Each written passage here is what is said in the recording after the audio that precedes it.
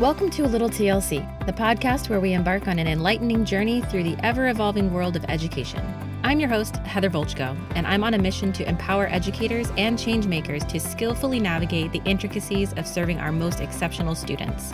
Every month, we'll be exploring a unique and timely theme in a mini series format, whether we're digging into inclusive teaching practices, addressing student mental health challenges, or exploring the intricate connection between our personal and professional lives. Each month offers an in depth exploration of weekly topics that truly matter. I hope you're ready to be both challenged and inspired because this is a little TLC. All right. So, we have been talking a whole lot about everything that we need to pour out for others. So, what we're doing for them and how we're supporting other people, what compassionate care is. We also then talked about how sometimes it's not always easy and it's really positioned in the middle of a bunch of really sticky messy uh, either systems or social um, experiences. Um, there's just a lot of a tough stuff that comes with it so it can feel kind of half-hearted or maybe overly optimistic to just say so be compassionate you know like do all these things be this kind of person when in reality like there's a lot of stuff that we're up against and working within and it is a choice with a lot of effort behind it um, to be able to actually demonstrate that compassionate care in the midst of all of these other things that are also absolutely true. So this week we are focusing all about uh, self compassion and how can we extend that compassionate care to ourselves what that can look like um yeah just any any ideas and tips and tricks and things like that uh so i'm gonna lob that question to you first off kind of already knowing where your answer is going um so what do you think what does that self compassion look like um yeah when I uh, figure that one out, I'll let you know. right. Uh, and then I'll, I'll let you know. It's it looks different. Um, it looks different, not just day to day or week to week. It looks different minute by minute. Yeah, exactly. Uh, as far as like giving yourself that that uh, self compassion, um, I can tell you what I do for um, self compassion. Um, I just turned a whopping um, 39 years old uh, last week, uh, the other day. So um, I've learned a little bit about myself over time. Mm-hmm. Uh, and I know some things that like are good for me. Uh, one being being creative. So yeah. like um, that that's uh, where I do my pottery. That's where I do um, um, other like whatever I whatever space I could be in to either be creative myself or talk to creatives mm. or learn from creatives. Um, that's that's something that's very important to me. Uh, being out in nature is another thing that's very important to me. Um, I love I love going for hikes and walks and and stuff like that. I love um just I, I always tell people that, you know, the the the forest is where I go to find God and where I go to to for that spiritual connection. So that's that's another thing. And people are are like so, you know, being creative, being in touch with nature and, and spirituality and being in touch with people. Um, um, those are things that I need um, in order for me to recharge and and rejuvenate. But even as I say those three things, um, it changes from time to time. It changes from time to time. It's like sometimes I'm better at it than others sometimes I know I need to take care of myself and I don't. Sometimes I know I need to not uh slip into like these bad self-care patterns and I do. Mm-hmm. um it changes from time to time. And like if anyone says that they have any idea how to do it 100% correct, they're lying. yeah. Well, that was part of what you and I were talking about before we started recording, right? It's yeah. just what's the 12 step plan to, you know, Right. caring for yourself so you can care for others? Like it doesn't exist, right? It Every doesn't person is different, every season is different.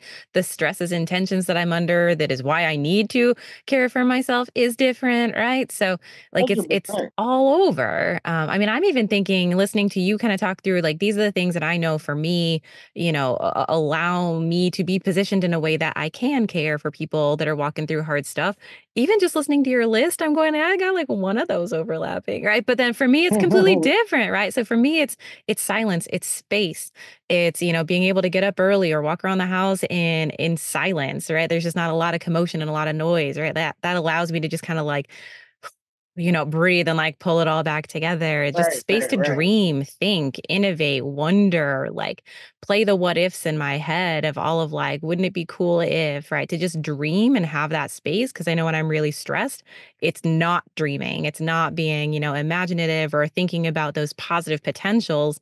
It's literally the grind of just like what's in front of me, get it done. Right. And if I'm not kind of taking that opportunity to step back, then I just get stuck in the to-do list and I don't have that moment to just pause and breathe and dream um, and imagine.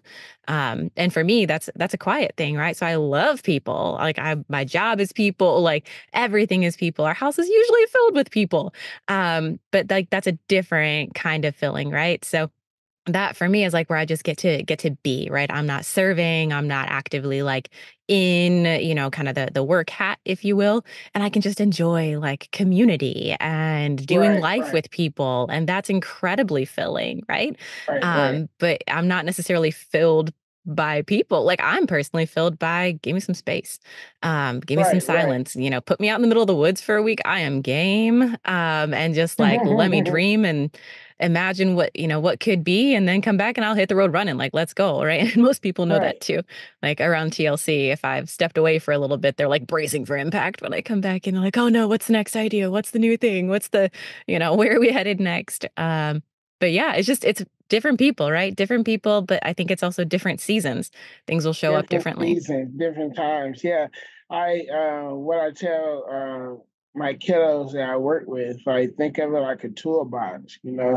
hmm Um and you, you have these these different coping skills or these different self-care skills that um one uh, sometimes you don't need a, uh, a Phillips screwdriver. Sometimes you need a flathead screwdriver or sometimes you need you know a wrench or whatever or or whatever you got to have these different tools and these different things or whatever and sometimes like you ain't got it in the toolbox and you got to figure out a new tool to put in the toolbox or whatever um because it changes over time like i again I, I i the self-help books make me vomit I, I, oh, you just do these 12 steps and you'll have a, like, get the heck out of here.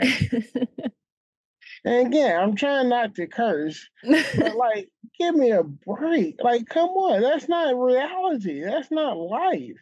but I mean I think We're talking seasons too, but some of it is just situation, right? Like Right. sometimes it's not feasible. Like I can't do shopping sprees and spa trips. And I think that's where I struggle with sort of the self care movement is to like just disband cold right now. Like, I, I want to go walking right now. Guess what? I won't enjoy that. I would not get the same gratification I get normally out of walking if it's like freaking cold outside and like I'm bundled up. I'm not. I'm Mhm. sorry. I'm not gonna get the same gratification. So it's like, okay, this is literally a season where walking isn't gonna be a part of the equation. Right. Well, I mean, like for me, like I'm in a school building and I get pulled into a crisis situation and I'm walking down the hall receiving information from someone about what's going on and what we're about to walk into. And especially if it's not a building I'm familiar with, they're also briefing me on their protocols and what they do and don't do. And I'm like catching up to speed while I'm walking. Right. So, like, in that moment for me, like, those are huge self-compassion moments. Like, I need to be centered and I need to be seeing what's what I'm walking into as honestly and accurately as possible. Um, and so, like, that situation, that is not a Saturday morning in the quiet of my house, right? Like, Right, right, that right, but I still need an aspect of that self-compassion to keep me grounded, to keep me present, um, and to keep me in a in a place where my own human self can show up and truly genuinely support whatever human has whatever need is going on at that moment too. Absolutely, absolutely. You have to be versatile within your self care and your self compassion, like whatever, just for those different situations, you know, different seasons, whatever. Like you have to be. Like if I'm in a scenario like you whatever, and it's stressful, uh, I can't tell you how many times like I'm in a session with a client and it's stressful. And I allow for my brain to like daydream a little bit in the middle of the session and think mm-hmm. about happier things. Like I have right. to do that because if I don't, I'm gonna lose it. And yeah. no one wants me to lose it, especially myself. So like give me that, you know, five, ten seconds to think about that that daydreaming scenario, whatever. Um, and that's just like uh in the moment situation, whatever. But and like, you're not leaving the person. Like you're no. not like spacing out. You're literally just grounding yourself so that you don't get on the emotional ride with them. Right. Because then you can support them through it as opposed to just getting into the middle of it with them. Right, right, right. And you have to do that. You, and, you, and a lot of that comes from like again, um, you know, I'm of the older age or whatever.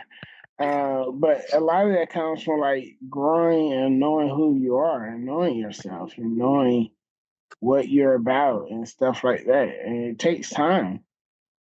I think it does take time. I think it takes time. And I think it also kind of takes some trial and error right? Like making that choice to see, does this work for me? Does this not work for me? Or having those reflective moments to realize I have not even tried anything. So no wonder I am stretched so thin or feeling these kinds of ways, right? Like that right. it's sort of a trial and error thing, even if part of the trial is not trying anything, um, and then finding kind of the errors in that. But then, okay, go back into it. And what are those things that could work for me? All right, I'm going to try this, try that, right? Like, you know, going to the gym certain times a week or going to certain kind of class at the gym or those kinds of things, like whatever it is. Um, give it a shot. Does it actually have the result that I need it to have in my life so that I can continue to show up and be present and be compassionate and meet all the needs of people that are coming at me in such a way that I am not, you know, pouring from an empty cup, if you will. Yeah, absolutely, absolutely. I I I, I love how you, you you talk about uh, just the different things and spaces and ways that that you you have to take care of yourself. Where, how long? I, I'm not gonna say where. I when did you start discovering some of these things? And mm. the hmm. reason I, and the reason I ask you that is because so I've always known I was a creative. Uh, I, I I like to create things, yeah. but like you would have never um, heard me say it that I like art or I'm an artist mm. before pottery, before I discovered pottery. Yeah. Um, it's funny because people who and maybe you are maybe you know me uh you've known me for a long time. Maybe you are like of course you you just need to find your your artistic expression or whatever. Uh, but like i would have never known that but like so where did you i don't know like learn some of this stuff about I think, I mean, before we even hit record, we are both kind of like, I don't know that we're the people to talk about this. Like, we we may not, you know, we don't have those great examples. Um, and, and I think for me, it has been trial and error. Uh, some of it has been very, uh, very practical, right? I was uh, a teacher and was working in a position where a couple of my students, uh, it was actually written into their plan um, because they had some self injury stuff going on that uh, there was an active level of restraint that needed to be part of their programming um, to make sure that they weren't truly like causing themselves bodily harm. Um, but that meant that I needed to be stronger than my middle school boys. um, and so I was like, hey, I'm going to go to the gym. Right. And then I realized that by stepping away from my desk, going to the gym, grabbing some dinner, and then coming back, and, you know, I'd still whole crazy hours and, you know, live the teacher life. Um, but by putting that pause in between, like getting my guys out the door, getting the after school meetings wrapped up and all those things, then going, hitting the gym, grabbing some food and coming back, um, my health was better. I was more uh, focused. I was able to do more work even um, and work faster um, after I came back. And so then I was actually working less um, because when I was working, I was so much more like present. Um, and then I was able, you know, to be able to see, you know, my guys are getting bigger and stronger um, in that developmental part of life. And can I actually serve them in the way that they needed to be served in those moments? Um, and can I walk that through with them? Like that was just a very physical, practical, tangible thing. But I then started seeing kind of all these other like other uh i don't know like side effects i guess you will um of of working out or of you know choosing to step away for a minute to you know work out eat and then come right back at it that i was actually working faster or I was, you know, more focused, those kinds of things. Um, so to me, I started going to the gym because I was like, I need to make sure that if I have to be put into these situations, that I myself can stay safe and I can keep the safety of those that I'm working with, um, my Yeah. student included. Um, so like if something went wrong in a hold, if that was because I muscularly could not, you know, handle what needed to be done at the moment, that's why I started working out. But then noticed, oh my gosh, like there's so many other things that come from that. And so for me now, I'm like, okay, when are we up? When are we out? When are we walking? What are we doing? Like I'm constantly trying to integrate that into programming with different districts that we're working with. Um, it's more than just like, let's go on a walk, right? But like, how can we be active in what we're doing? You know, I'm not as, you know, strong a proponent as maybe some of the like health ed folks out there. Um, but it's been a big part of it, I think also partly because like I've worked in corrections and physical freedom is not necessarily part of the game. Um, and then working with students with the emotional and behavioral challenges, people get fearful. Um, like if they're in their seat, they're contained, and then I can feel safe because they appear to be contained. Once they start getting up and moving around, then I get fearful, right? And then I'm not grounded, and now I've got these things. So, like, to me, it started from just a very practical need of like, I need to be able to serve my student in this way. Um, and then I started noticing, wow, like there's actually a lot of things that come from that. And what could that look like?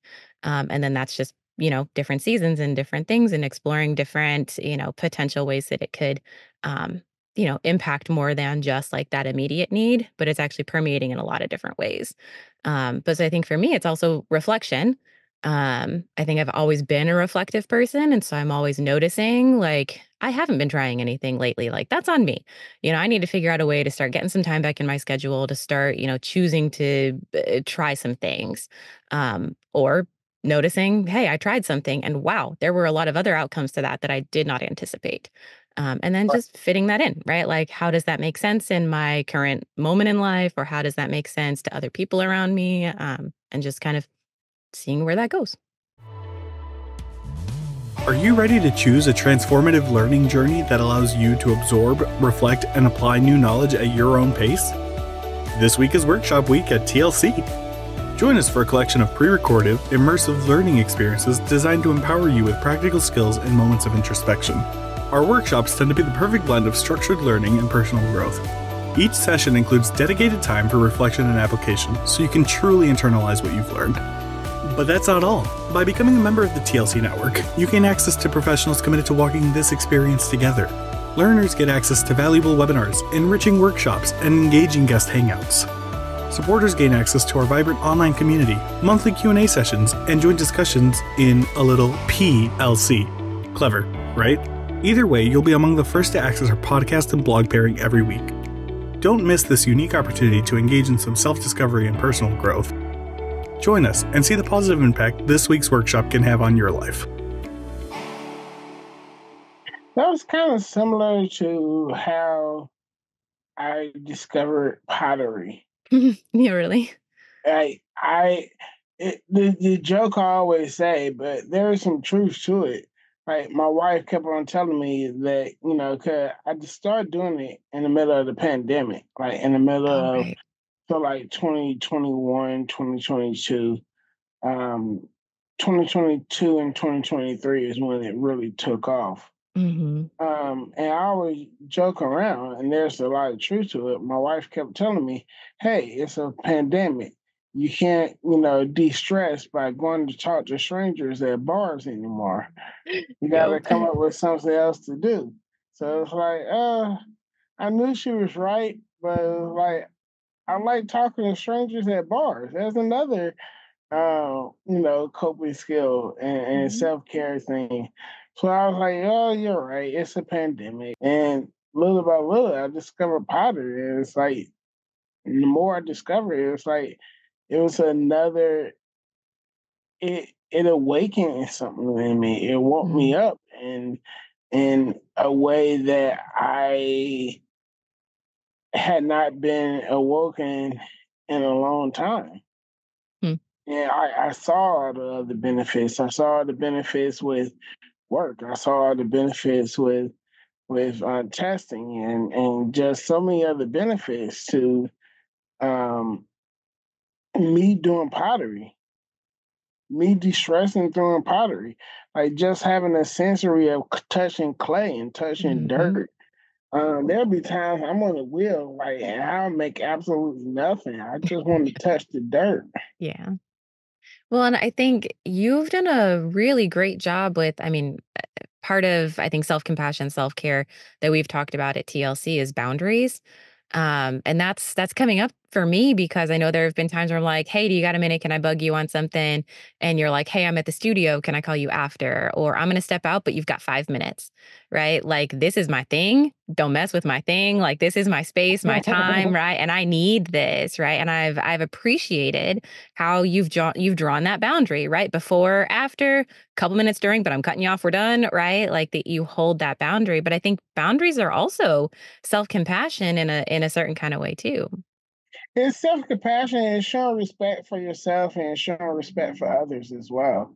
I I mm-hmm. I I, I think that when you I mean that's one of the things we talk about in social work or whatever. It's like you, you, you can't blur that line too much. You, you have to you have to set those boundaries. You have to be strict about those boundaries.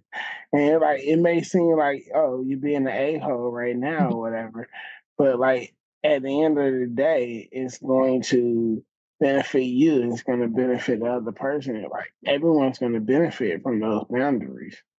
Yeah. And I mean, I think in in the roles that we have and the people that we serve and the communities that we're integrated with, um, I think by choosing to have some of those boundaries in our own ways, we're kind of mitigating our own burnout so that we get to continue to show up. Um, Absolutely, absolutely. Like you, like like you said, when I go to the studio, like I'm I'm there. I'm in the moment. I'm present. Like nothing else is going on, mhm, and that's going to help me be a better therapist in the morning. That's going to help me be a better husband, and, and you know, that's going to help me be a better son, a better friend, a better like whatever. Like, give me those moments. Give me that time. Like, boom, this is this is it. This is all that matters right here, right now. And like being, you know, uh, you, you know, you're in Chicago, and and there's a famous line from uh, a famous song from Common, um, Common Sense on his album Be. Like, just be. Sometimes you just mm. gotta be in the moment. Just be. Yeah, but I mean, how how true is that in any given moment, right? I find it's really easy for me to just be when I'm sitting in the middle of the woods and can just take in nature, right? I think that's something you and I have a whole lot in common. Um, but I think there's also a sense of like I've been in crisis situations, like legitimate crisis, and there is an aspect of just be, right? Like right here, right now, just be. And so, how do I do that? I mean, that's where I tap in, kind of like you're talking about the toolbox, right? Tap into different strategies at different times in different seasons, um, and and kind of like with the goal of allowing me to just be, um, so that I can serve not just now, but you know, through uh, hopefully a long career and with lots of Hopefully people in the future. You know? Yeah, exactly. Right, right, right. And, and like again, and as we go, I we talked about this like the list or whatever. I don't want people to think again. I'm giving you a list of what to do. No. I'm saying like this is what works for me exactly at certain moments at certain time. And if you haven't discovered what works for you at certain moments at certain times, that means that your journey, um, your journey isn't over isn't over yet no one's journey is over yet. Like you're constantly learning, you're constantly evolving, you're constantly growing. Um, I, I, I don't know. Like some people like cooking, some mm-hmm. people like some people like eating. I, I'm fat. I love eating. you know, sometimes that's a that's a chore. Um, different things for different peoples in different season works, and exactly. and there's eight billion people on this planet. So like there's no book for what works for one person and that it's going to work for others. Yeah, but I think at the end of the day, it just comes down to that choice, right? Like, yeah. I need to choose to try some things right? And it may work, it may not. It may work now and then it doesn't work next month, right? Or it worked in this situation for me and then it didn't work in a very similar situation later, right? So then, okay, what is it about it that worked for me initially? And then how can I, you know, do something that then gets that kind of mm. similar result, right? Um, but it's that choice, right? Like I think uh, people like us are natural givers. Um, most of people that we are pulled in uh, to work with through TLC are are drawn um, to probably overextending themselves. And so it's a given, it's automatic to care for others and to extend that compassion and to do that work on behalf of and with other people. And it's really hard and can sometimes feel selfish to do that for ourselves or with ourselves or with community kind of on behalf of ourselves. Um, and so I think without a list, without some, you know, 12 step program on choosing to care for yourself, right? It's just how can you make that choice, right? If nothing else, are you making the choice to at least try some things and see how that works or doesn't work, how it shows up in your own life? Yeah. And like I said, I, I there there are times I'm better at doing it than others. Oh yeah. Um, there are times where I I like kick butt and doing it. And there are times where it's like I know what to do. I know the right steps. uh, and another thing that's uh, a huge self care for me, I just thought about it. I didn't know why I didn't include it in this. is therapy. I go to therapy. Like therapy is huge. Therapy of course. Is, therapy is um, you know, I, I don't know if uh, if listeners remember the old hair club for men commercial. There was this old hair club for men commercial where the guy was like, "Follow me." He's like, he's like, I'm not only the hair club president, but I'm also the client. Oh, I don't know if you remember that. Like, I, that's that's how I am with therapy. I'm not only the therapist, I'm also a client. Mm-hmm. You know, like therapy is huge for me, and like that's a huge, huge part of of my my self care because I need someone to help process my stuff with. I need someone to help like talk me off the ledge or whatever. Um, I mean that's part of where friends and, and you know come from as well. But like a therapist, like I, if you if you never tried one, I, I'll get you one. Yeah, and like like you said, if you have supportive community around you and people that can really step into that with you and can uh, help you in the ways that you need help, right? Like you're choosing to receive the help that then you're professionally turning around and offering right back out. Um, but especially if you don't have that community, you know, seeking someone who can choose to walk that with you, if that's through a formal, you know, therapy sessions, if it's through counseling, if it's through mentorship, if it's through whatever avenue, but someone who's actively choosing to invest in you, even if they're simply investing in you so that you can figure yourself out. Um, you know, I've got people who speak into my life in all kinds of different areas, um, and different people who call things out um, within me and kind of in different seasons. Um, yeah. And that has been a total game changer, right? Like I wouldn't be where I am now if people weren't doing that with me and for me the whole way through. But I have to choose to be open to that. I have to maybe even choose to seek that, um, and then kind of see where that takes me. Absolutely, absolutely. You gotta have those people around you. You gotta have the people around you. You gotta have people that like are invested in you and invested for you. And but what I mean by that is that they not so much trying to take advantage of you, not so much trying to eat off of you, mm-hmm. but they are invested for your growth, for your your your self preservation, for the work that you're doing for others. Exactly. Yep. Well, thank you so much um, for having this conversation, even though neither one of us feel fully equipped or prepared to speak as experts in this area. Um, yeah, so thank you, and I'll catch you next week. All right. Hey, before you jump back into your busy life, we want to invite you to head over to thresholdlearning.org, your one stop destination for all things TLC. Here you'll find our blog with this episode's show notes, our ever expanding bookshelf of resources, and anything else we've talked about. Trust us, there's a ton of benefits waiting for you to explore. Just head over to thresholdlearning.org, click on network, and we'll see you on the inside. Sharing the podcast with your colleagues is the easiest way to support the show. You can find us at Threshold Learning TLC on Facebook and Instagram. A personal recommendation is by far the best way to share the podcast.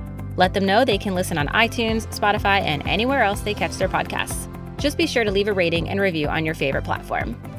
You can email us at info at thresholdlearning.org. We always enjoy connecting with fellow educators and champions for educational justice. You can find everything you're looking for at thresholdlearning.org. See you there.